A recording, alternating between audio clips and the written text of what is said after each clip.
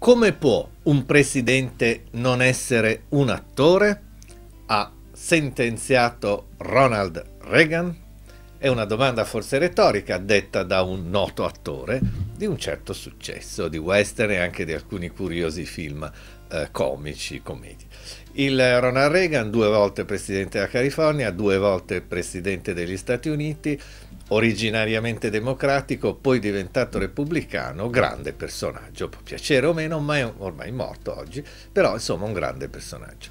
Ora, è qualcosa che forse ci sfugge un attimo. Come Reagan abbiamo il caso di Schwarzenegger, due volte presidente della California, non si può presentare alle elezioni perché non è statunitense, non è nato negli Stati Uniti, anche se ne ha acquisito la cittadinanza.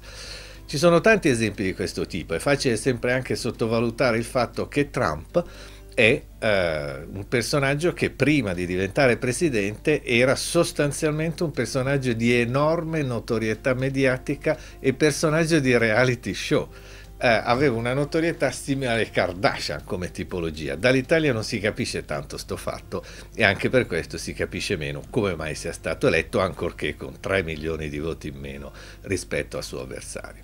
Beh, questo però è tutto un altro discorso. Quello che conta è che oggi la visibilità mediatica è un elemento determinante della politica, però è sempre stato così in realtà, semplicemente sono cambiati i media. Non è che la notorietà di tanti presidenti degli Stati Uniti, io penso compreso Lincoln o Washington, non fosse largamente mediatica. Com'è che questi sono diventati famosi? Com'è che la gente si identificava con loro? Com'è che li considerava delle persone di riferimento assoluto. Non li avrà magari nemmeno mai visti di persona, mai visti in fotografia perché non c'erano le fotografie al tempo di alcuni di questi.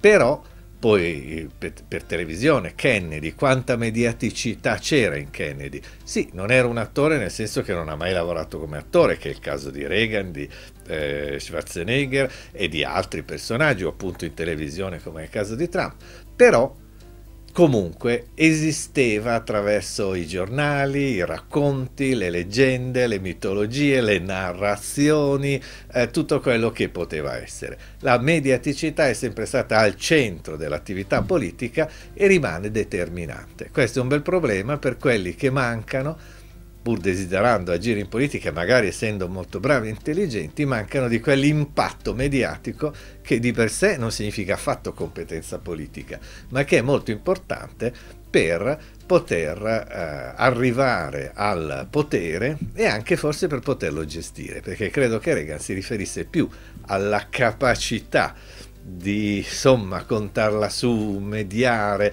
fare la parte giusta, che non alla notorietà. Quindi teniamo sempre conto del fatto che può esserci chi con una certa autoironia, avendo avuto un successo strepitoso da un punto di vista politico, piace, non piace, non lo so, ma ha avuto un successo strepitoso e tra l'altro molto più plebiscitario di quanto ne abbia per esempio Trump attualmente, ma la domanda da porsi sempre è questa, come può un presidente non essere un attore?